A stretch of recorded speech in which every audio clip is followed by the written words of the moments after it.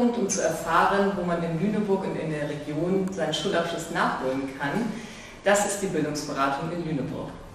Die Bildungsberatung in Lüneburg wird finanziert vom Land Niedersachsen und steht jedem Mitbürger und jeder Mitbürgerin zur Verfügung, um Fragen rund um das Thema Bildung zu beantworten. Es ist so, dass pro Anliegen drei Termine wahrgenommen werden können und so kann auch eine Prozessbegleitung stattfinden, wenn man sich am Anfang noch nicht ganz sicher ist, wohin es gehen soll und was man eigentlich mit diesem Schulabschluss erreichen möchte. Die Bildungsberatung ist kostenfrei für jeden zugänglich und sie ist außerdem auch noch trägerunabhängig. Das ist ganz wichtig, also wir beraten nicht für einen bestimmten Träger, sondern wir schauen gemeinsam mit den Ratsuchenden das komplette Angebot an und finden dann das Richtige für denjenigen oder diejenige heraus. Eine Möglichkeit in der Region Lüneburg seinen Schulabschluss nachzuholen, bietet die VHS-Region Lüneburg. Hier kann man sowohl seinen Hauptschulabschluss als auch seinen Realschulabschluss und das Abitur nachholen.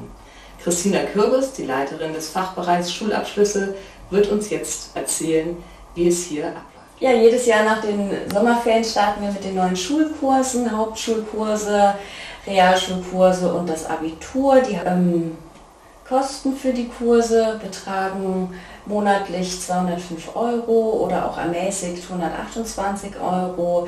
Wir haben äh, eine Sozialpädagogin, die sich um die Anmeldung und um die Beratungsgespräche kümmert.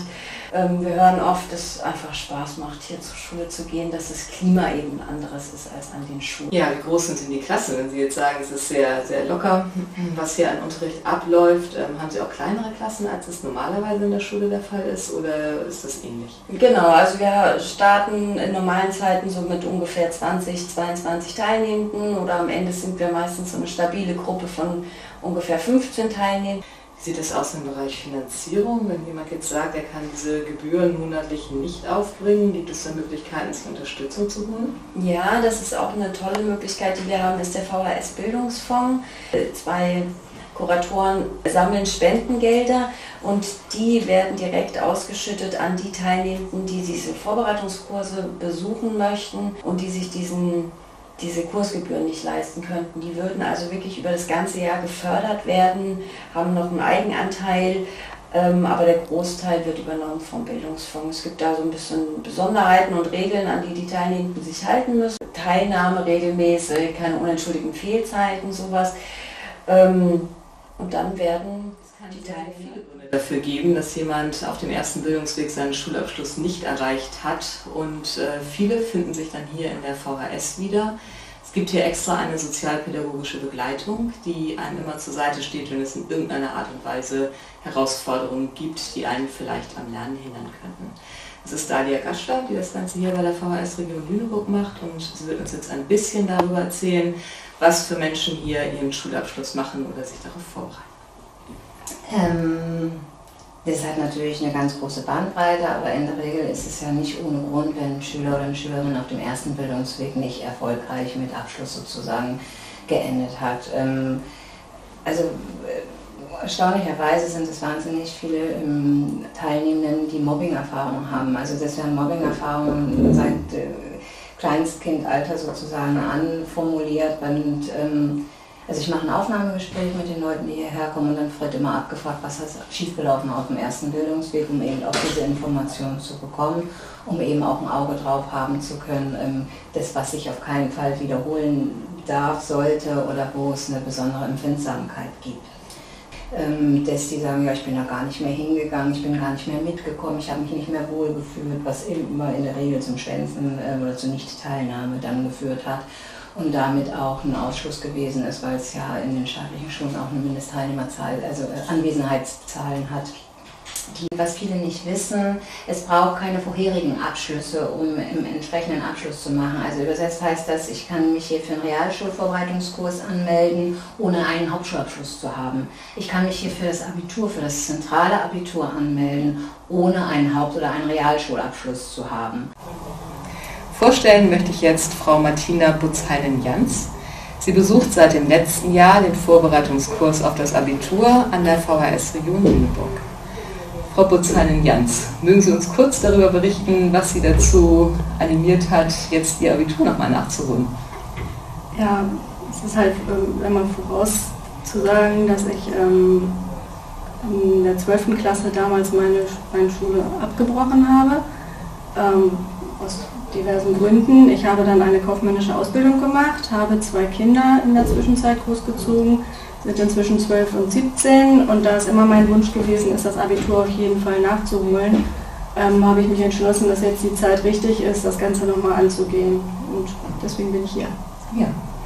Und was gibt es so für Unterschiede, wenn Sie sich so an Ihre Schulzeit erinnern, wie sie früher war, als Sie Ihr Abitur ähm, auf einem normalen Gymnasium versucht haben zu machen? Wenn Sie das jetzt vergleichen mit dem, wie ist die Klassengemeinschaft, wie ist es mit den Lehrern das Verhältnis?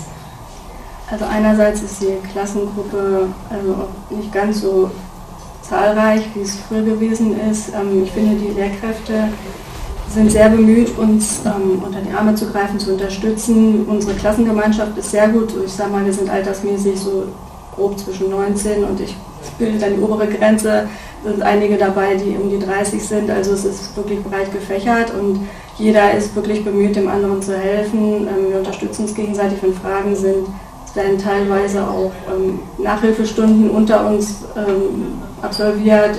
Wenn jemand sehr gut in Mathematik ist oder in Französisch, dann treffen wir uns nach Schulschluss nochmal und sprechen darüber. Also wer Fragen hat, kann jederzeit sowohl die Lehrkräfte als auch die Mitschüler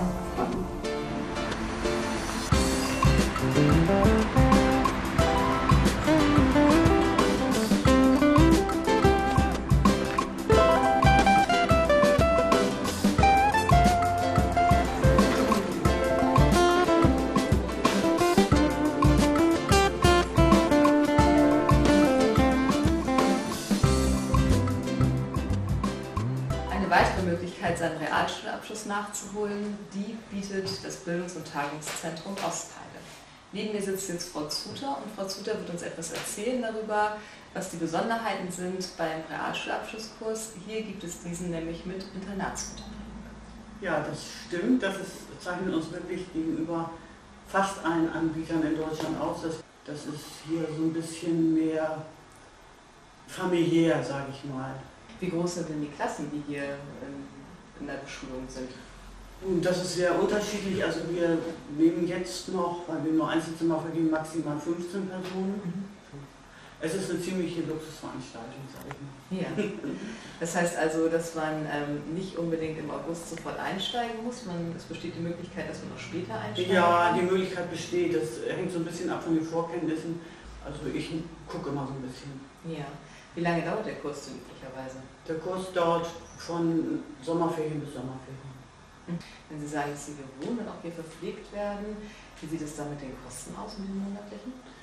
Im Monat zahlen die Teilnehmer im Moment 380 Euro. Mhm. Das ist inklusive Unterkunft, Unterricht, Verpflegung, mütterlicher Betreuung. und was sind das für Schüler und Schülerinnen, die zu Ihnen kommen, um den Abschluss nachzumachen? Ist das so für eine Altersstruktur? Also das Kurs zwischen 18 und 20. Mhm. Und gibt es besondere Voraussetzungen, die man erfüllen muss, um hier teilnehmen zu können an den Kursen? Eigentlich nicht. Laut Prüfungsverordnung braucht man nicht mal einen Hauptschulabschluss, das empfehle ich aber trotzdem. Und welche Fächer unterrichten Sie? Deutsch, Mathe, Englisch, Geschichte, Politik, ähm, Erdkunde, Physik, Chemie und Bio. Mhm. Also das ist ja dann die ganze Bandbreite. Das ist die ganze Bandbreite, das ist so, dass das prüfungsrelevant ist. Es ist dadurch, dass ähm, die Teilnehmenden hier wohnen können, häufig für die Familie eine gute Situation, weil häufig diesem Entschluss dann sowas zu machen, Konflikte vorausgehen zu Hause.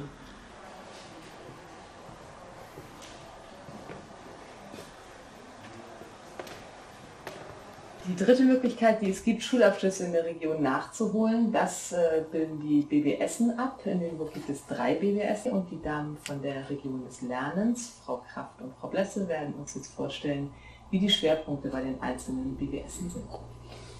Ja, es ist so, bei der BBS 1 sind die kaufmännischen Berufe vertreten.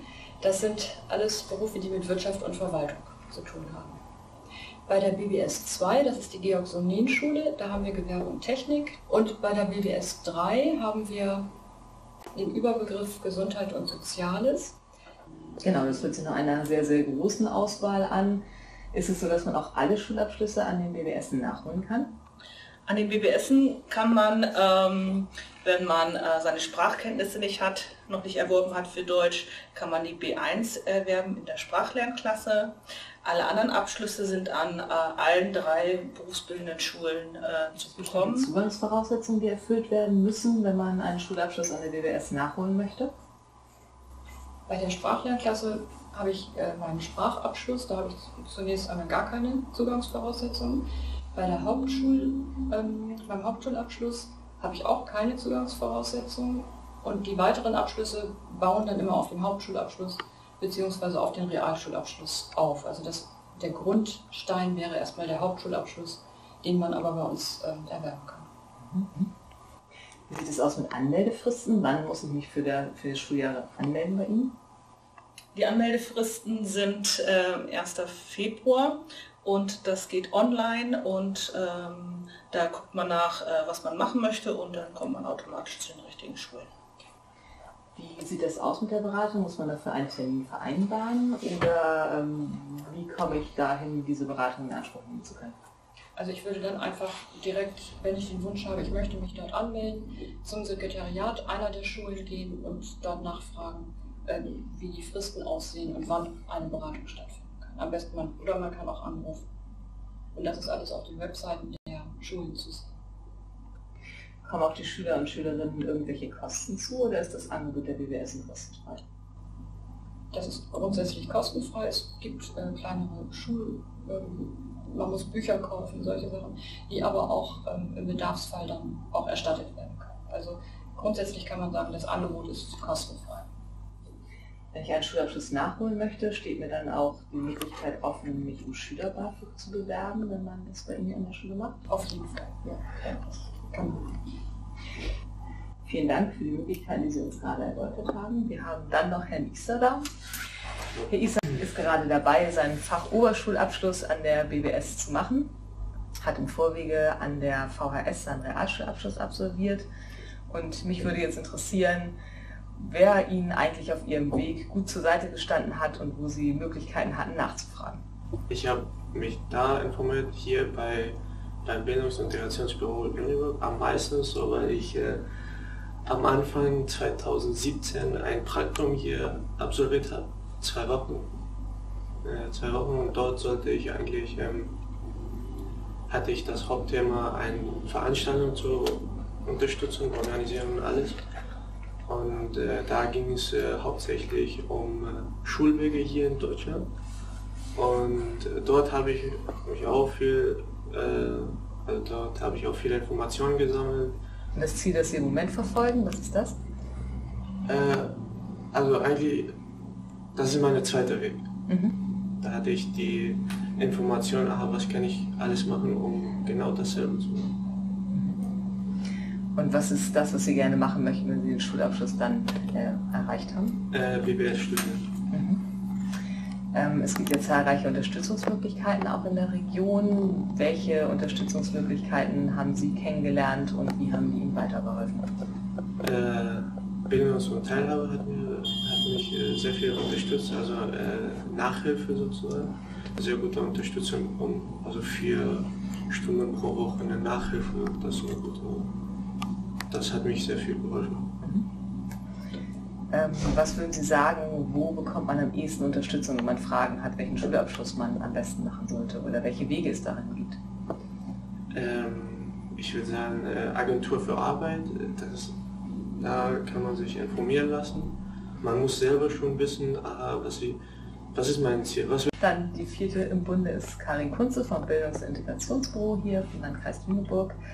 Frau Kunze, warum ist es so sinnvoll, einen Schulabschluss zu machen oder auch noch einen höheren Schulabschluss zu machen? Was sind so Ihre Erfahrungen aus Ihrem Arbeitsalltag?